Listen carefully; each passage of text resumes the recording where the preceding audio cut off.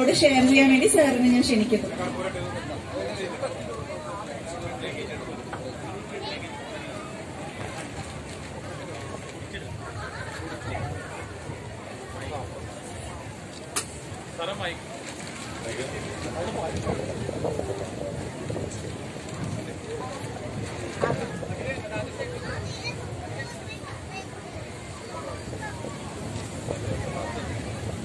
നമസ്കാരം. സ്റ്റേജിലിരിക്കുന്ന വിശിഷ്ട വ്യക്തികളെ എല്ലാവരുടെയും പേരെടുത്ത് ഞാൻ പറയുന്നില്ല. സദസ്സിലിരിക്കുന്ന എന്റെ ഏറ്റവും പ്രിയപ്പെട്ടവര് നമ്മളൊരു നീന്തൽ നീന്തൽ കൂട്ടായ്മയിൽ വന്നിട്ടൊരു കുടുംബം പോലെയാണ്. ഈ കഴിഞ്ഞ നാലഞ്ച് മാസം നമ്മൾ പെരുമാറിയത്. അതിലെനിക്ക് വളരെയധികം സന്തോഷമുണ്ട്.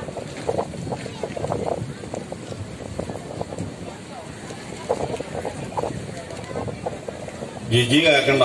ഞാനൊരു സ്വകാര്യം പറയാൻ പോവാണ്. പണ്ട് എന്റെ ഒരു ഇരുപത് ഇരുപത് വയസ്സിൽ അപ്പൊ എന്റെ ഒരു പെൺ സുഹൃത്ത് എനിക്കൊരു എഴുത്ത് വെച്ചു. ഞാനത് വായിക്കാതെ നാലു ദിവസം പോക്കറ്റിലിട്ട്. അതെ അതെന്താണെന്നറിയോ പേടിച്ചിട്ടല്ല വായിച്ചു കഴിഞ്ഞാൽ അത് തീർന്നു. അത് തീർന്നു കൊണ്ടാതിരിച്ച് നാല് ദിവസത്തേക്ക് വായിച്ചില്ല. അതുപോലെ ഞാൻ ഇന്ന് ഇന്ന് നേരം വെളുത്തപ്പോ ഓർത്തു ഈ ഈ സംഗമം അതുപോലെ ചെയ്തെങ്കിലോ എന്ന് അതെനിക്ക് അത്ര ഇഷ്ടമാണ്. ഇതങ്ങോട്ട് തീർന്നു പോലെ ഒരു ആദി. ഇന്ന് നടത്തി കഴിഞ്ഞാലേ പിന്നെ നാല് ദിവസം കഴിഞ്ഞ് നടത്താൻ പറ്റുമല്ലോ ഇത്. അത് വേറെ വേഗം നടത്താൻ തീരുമാനിച്ചു പിന്നെ നീന്തൽ എന്റെ അപ്പൻ എന്നെ ചെറുപ്പത്തിൽ ഉണ്ടായി നീന്തൽ പഠിപ്പിച്ചാണ്. അപ്പൊ നീന്തൽ സംഭവം ഒന്നുമില്ല ശരിക്കും പറഞ്ഞാൽ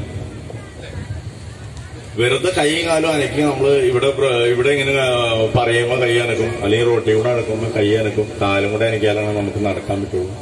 അത്രയും മാത്രം തന്നെ നീന്തലുള്ളൂ. അപ്പൊ എന്നെ നന്നായി ചെറുപ്പത്തിൽ ആലുവ പെരിയാറിൽ കൊണ്ടുപോയി. പെരിയാറിൽ കൊണ്ടുപോയി എന്നോട് വെള്ളത്തിലേക്ക് നോക്കാൻ പറഞ്ഞപ്പോ അവിടെ ഈ റോഡ് സൈഡിൽ ട്രാൻസ്ഫോർമർ ഇരിപ്പില്ലേ? അപ്പൊ അതേലൊരു ചിഹ്നമില്ലേ? ഇത് ഇങ്ങനെ രണ്ട് കൈയും വെച്ചിട്ട് ഇങ്ങനെ തല മുകളിൽ ഇത് ഇങ്ങനെ ഇതുപോലെ ഒരു ചിഹ്നം.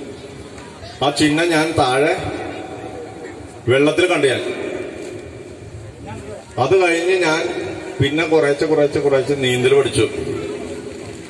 നീന്തൽ പഠിച്ചു കഴിഞ്ഞിട്ട് പിന്നെ നോക്കിയപ്പോഴോ പിന്നെ നോക്കിയപ്പോ നീന്തൽ പഠിച്ച് പുഴ നീന്തി കഴിഞ്ഞിട്ട് നോക്കിയപ്പോ പിന്നെ അത് കാണാനല്ല. ആ ആ ചിഹ്നമല്ലേ? അപകട ചിഹ്നം. ഇങ്ങനെ രണ്ട് എല്ല് രണ്ട് എല്ല് ഒരു തല. ആ അപകട ചിഹ്നം കാണുന്നില്ല. അപ്പൊ ആ അത് എവിടെയായിരുന്നു സംഭവിച്ചത്? സംഭവിച്ചത് നമ്മുടെ മനസ്സിലാണ്. നമ്മുടെ മനസ്സിനെ പറഞ്ഞ് പഠിപ്പിക്കൽ മാത്രമേ ഉള്ളൂ നീന്തൽ. വേറെ ഒന്നും തന്നെ നീന്തലില്ല. പിന്നെ ഞാൻ ഏകദേശം ഒരു മുപ്പത് വയസ്സിൽ എനിക്ക് സിനിമയിൽ അഭിനയിക്കണമെന്ന് ഭയങ്കര മോഹമായിരുന്നു. ഞാനൊരു സിനിമാ നടനാണ്. ഇവിടെ സിനിമ സിനിമ ഡയറക്റ്റ് ചെയ്യുന്ന ആൾക്കാരൊക്കെ ലിപ്പുണ്ട് ഇവിടെ. എത്ര പേർക്കൊന്നും അറിയാതെ എനിക്കറിയില്ല ഞാനൊരു സിനിമാ നടനാണ്. അപ്പൊ എനിക്ക് എസ് ഐ ആയിട്ട് ആ നമ്മുടെ എസ് ഐ സാർ അറിയണ്ട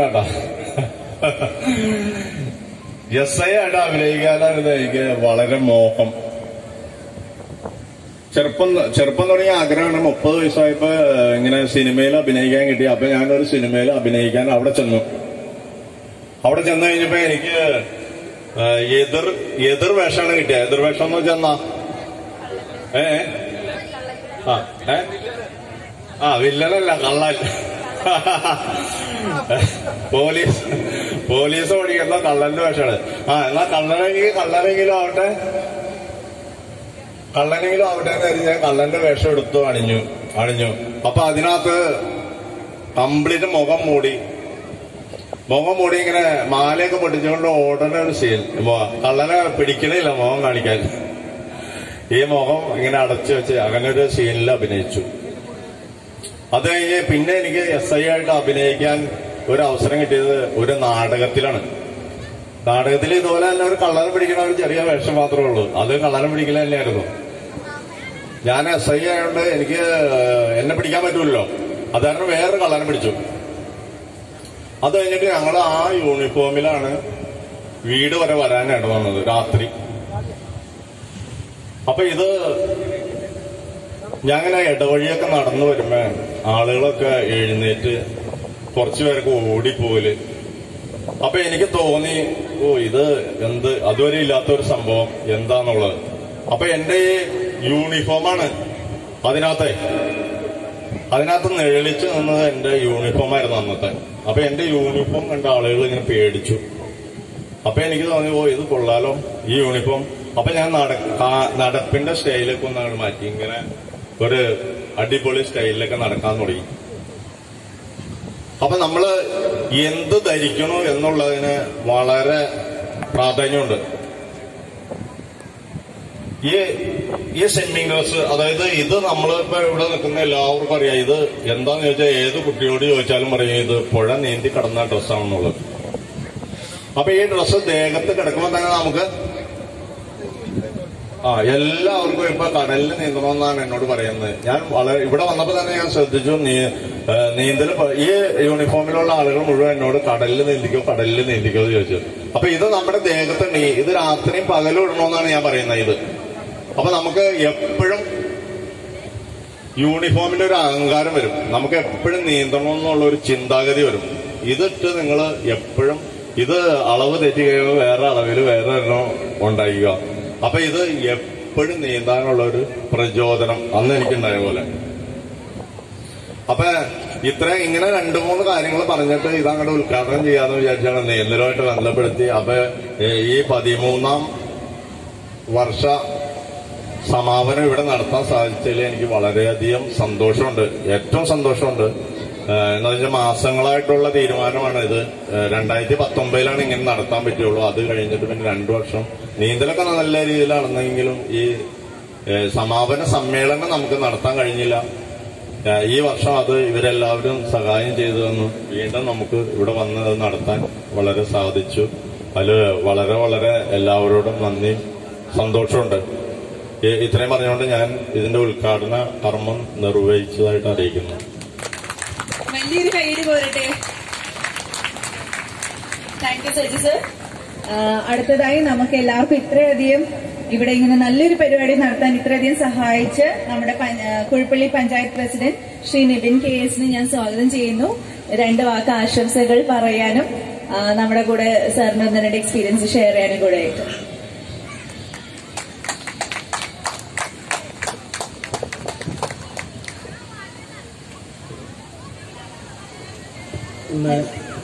ഈ പരിപാടിയുടെ ഉദ്ഘാടനം നിർവഹിച്ച ശ്രീ സജി സാറ് പുൽപ്പള്ളി ഗ്രാമപഞ്ചായത്തിന്റെ പതിമൂന്നാം ward member Shrimati Bibinaneesh residents association apex കൌൺസിലിന്റെ പ്രസിഡന്റ് ശ്രീ ചന്ദ്രശേഖരൻ ഡെപ്യൂട്ടി തഹസിൽദാറായിട്ടുള്ള ശ്രീ ജെയിംസ് മറ്റു ഏറ്റവും പ്രിയപ്പെട്ട സജി സാറിന്റെ ശിഷ്യന്മാരെ അവരുടെ കുടുംബാംഗങ്ങളെ വളരെയധികം സന്തോഷമുണ്ട് ഈ ഒരു പരിപാടിക്ക്. ഇവിടെ വേദിയായതിലും അതോടൊപ്പം തന്നെ ഇവിടെ വന്ന് ഈ പരിപാടിയിൽ നിങ്ങളോടൊപ്പം ഒക്കെ ഒരുമിച്ച് പങ്കെടുക്കാൻ സാധിച്ചതിലും സജി സാറിനെ കുറിച്ച് പലപ്പോഴും നേരിട്ട് കാണുന്ന ആദ്യമാണ് ഇന്ന് ഞാനിപ്പോ ഈ പരിപാടിയിലേക്ക് വരുമ്പോൾ. വഴിയിൽ വെച്ച് അദ്ദേഹം തന്നെ വന്ന് പരിചയപ്പെടുകയായിരുന്നു. ഞാനാണ് സജി എന്ന് പറഞ്ഞിട്ട് വളരെ ആദ്യമായിട്ടാണ് കാണുന്നത്. നേരിട്ട് കാണുന്നെങ്കിൽ പോലും ഇതിനു മുമ്പ് പല ഘട്ടത്തിലും പലപ്പോഴും വാർത്തകളിലും ഒക്കെ നിറഞ്ഞു നിന്നിരുന്ന ഒരാളാണ് സജി സാറ്. പലപ്പോഴും വാർത്തകളൊക്കെ വായിക്കുമ്പോൾ നമ്മളൊക്കെ പണ്ട് പറഞ്ഞിരുന്നത് രോമാഞ്ചം വരും എന്നാണ് പറഞ്ഞിരുന്നത്. ഇപ്പോൾ സോഷ്യൽ മീഡിയയുടെ കാലഘട്ടത്തിൽ നമ്മൾ പറയുന്നത് രോമം എഴുന്നേറ്റ് നിന്ന് കൈയടിക്കും എന്ന് വിശേഷിപ്പിച്ച് തുടങ്ങി. അപ്പോൾ ആ രീതിയിൽ വളരെ നമുക്കറിയാം പല മേഖലകളിലുള്ള ഇപ്പൊ നമുക്കറിയാം സാറിന്റെ ശിഷ്യനാണ് ഈ ഡെപ്യൂട്ടി തഹസിൽദാർ അതുപോലെ തന്നെ നമ്മളെ ഈ പരിപാടിയിലേക്ക് ക്ഷണിക്കാൻ വന്നപ്പോൾ സാറിന്റെ ശിഷ്യന്മാരെ കുറിച്ചൊക്കെ ഒരു രൂപം നമുക്ക് നിരവധി പ്രഗത്ഭരായ വ്യക്തികൾ അദ്ദേഹത്തിന്റെ ശിഷ്യന്മാരായിട്ടുണ്ട് അതുപോലെ കൊച്ചുകുട്ടികളും അദ്ദേഹത്തിന്റെ ശിഷ്യന്മാരായിട്ടുണ്ട്. അതുപോലെ നിരവധി ആളുകളെ അദ്ദേഹം നീന്തൽ പരിശീലിപ്പിച്ചു. ഒപ്പം ഒരു ചെറിയ തോട് മുറിച്ച് കിടക്കാൻ തന്നെ നീന്തുക എന്നത് തന്നെ വളരെ ബുദ്ധിമുട്ടുള്ള കാര്യമാണ്.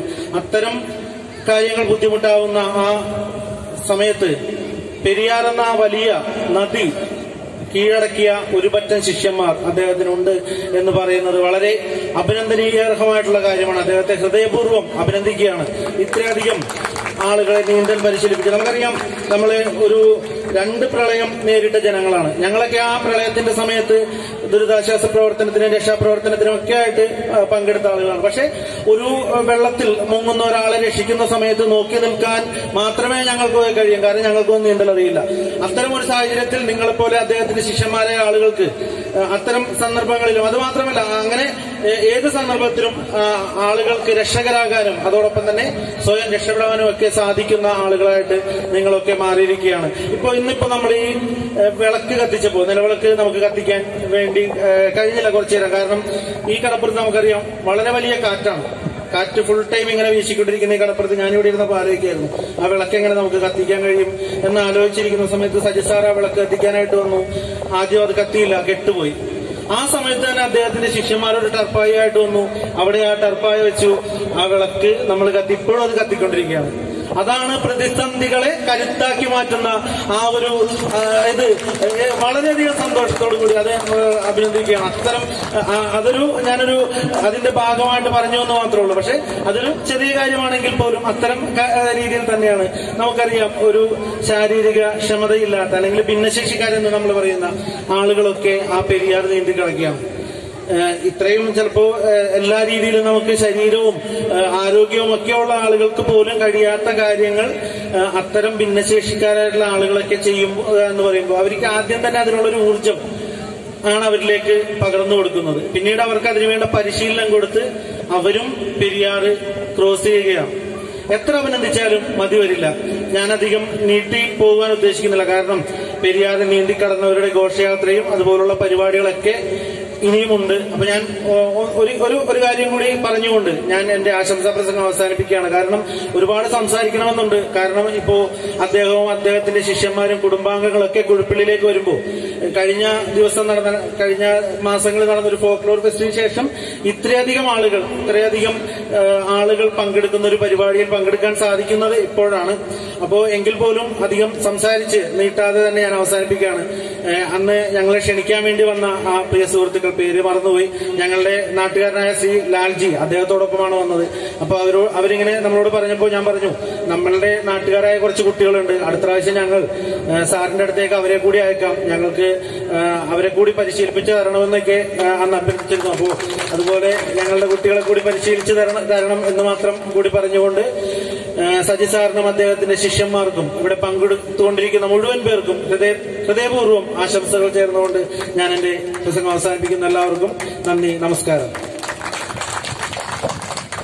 ഇത്രയധികം സ്നേഹത്തിന്റെ ഭാഷയിൽ നമ്മളോട് സംസാരിച്ച് ശ്രീ നിതിൻ സാറിന് ഒരു വലിയ കയ്യടി കൊടുക്കാം അല്ലേ? സാർ ഞങ്ങളുടെ കൂടെ ഇനി വന്ന് നീന്തൽ പഠിക്കാൻ സാറിനെ ഞങ്ങൾ ഇൻവൈറ്റ് ചെയ്യാണ്. സാർ അടുത്ത പോലെ എന്തായാലും വരിക. സാർ നവംബറിൽ തുടങ്ങും എന്നുള്ള പ്രതീക്ഷയിലാണ് ഞങ്ങൾ എല്ലാവരും ഇരിക്കുന്നത്. സജി സാർ അടുത്ത നവംബറിൽ തുടങ്ങും എന്നുള്ള പ്രതീക്ഷയിലാണ് ഞങ്ങൾ എല്ലാവരും ഇരിക്കുന്നത്. അപ്പൊ സാറ് പറഞ്ഞതുപോലെ എല്ലാവർക്കും നമുക്ക് എല്ലാവർക്കും നീന്താൻ പറ്റും എന്നുള്ളത് നമുക്ക് വളരെയധികം ഉറപ്പായി കാണിച്ചു കാണിച്ചു തന്നതാണ് സർ. അപ്പൊ അതിനായി നമുക്ക് വളരെയധികം പ്രചോദനം തരുന്ന വളരെയധികം സപ്പോർട്ട് തരുന്ന ശ്രീ ആഷമിനെ ഞാൻ സ്റ്റേജിലേക്ക് സ്വാഗതം ചെയ്യാണ്. ആസ് ആഷം ആസ് ആസൻ ഇന്ത്യ റെക്കോർഡ് ഹോൾഡർ ആണ് ആസിന്റെ നീന്തൽ പ്രകടനങ്ങൾ കൊണ്ട്. രണ്ട് വാക്ക് സംസാരിക്കാൻ ഞാൻ ആസിനെ സ്വാഗതം ചെയ്യാണ്.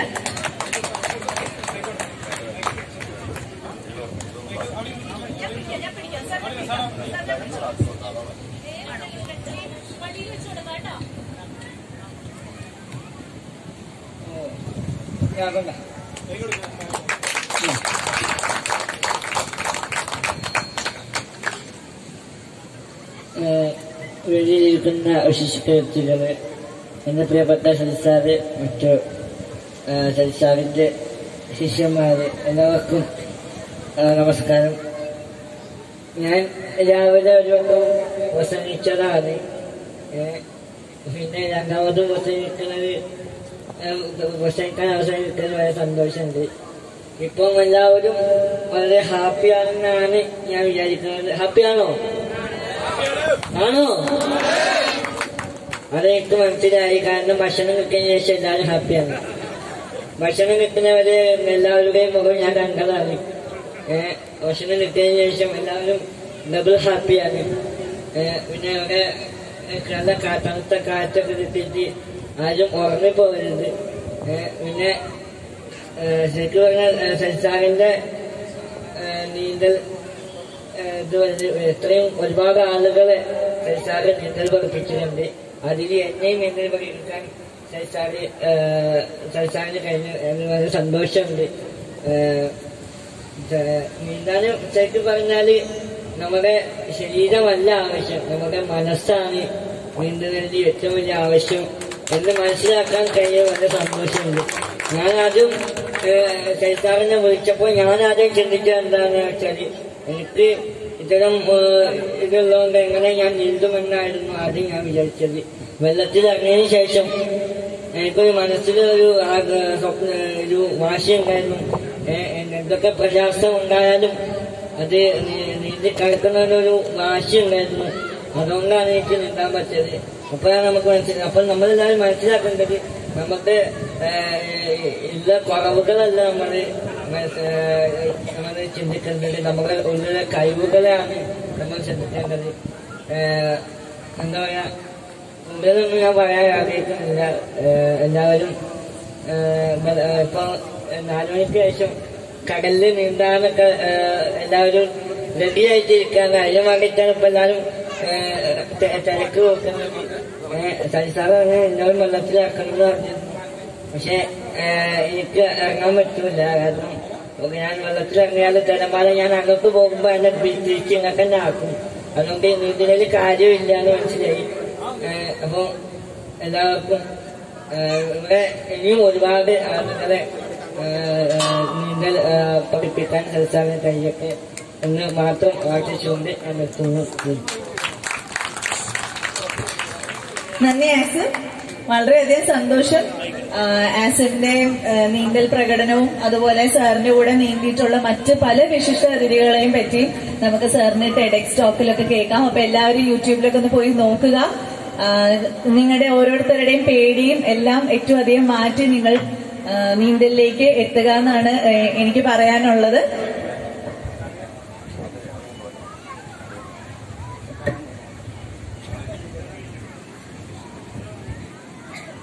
അടുത്തതായി ഞാൻ സ്വാഗതം ചെയ്യുന്നത് നമ്മുടെ എല്ലാവരുടെയും പ്രിയപ്പെട്ട രതീഷിനെയാണ്. പുള്ളി ഒരു നല്ല ആർട്ടിസ്റ്റും കൂടെയാണ്. അതുകൊണ്ട്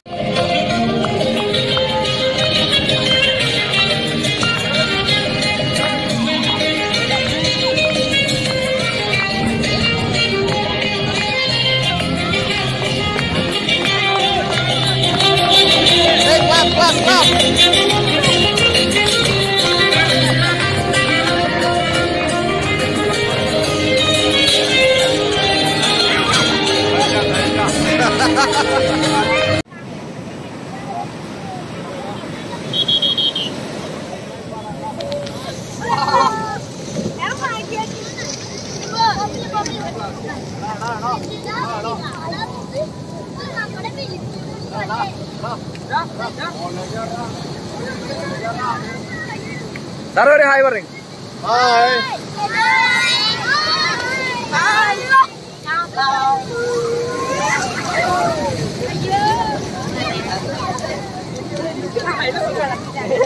ഹായ് ഹായ്.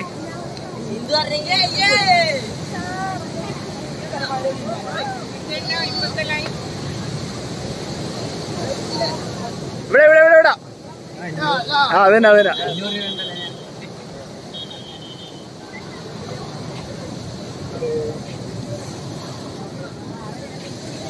Hi frankly ഗ്രൂപ്പിലുണ്ടാവും